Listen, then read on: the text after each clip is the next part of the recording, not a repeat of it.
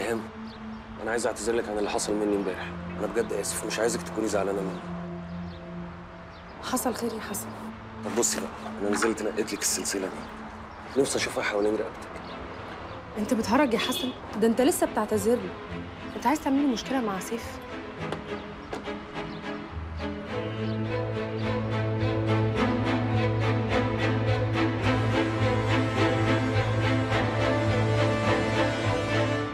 سيف هو أنتوا قاعدين بتعملوا إيه؟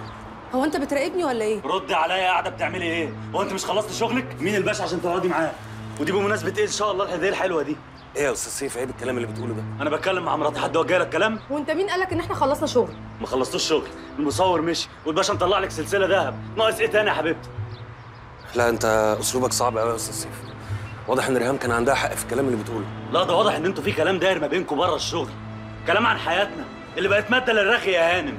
انت فاهم غلط والكلام ده مش حقيقي. ومين قالك أصلا إن أنا هقبل الهدية دي؟ وادي الهدية اللي مضايقاك اهي بس على فكرة بقى المشاكل اللي بينكم ملهاش أي علاقة بالهدية. المشكلة الحقيقية إن حضرتك بدأت تراقبها وتطب عليها في الشغل لمجرد إن جالها ترقية. كأنك مش قادر تشوفها بتنجح وبتكبر.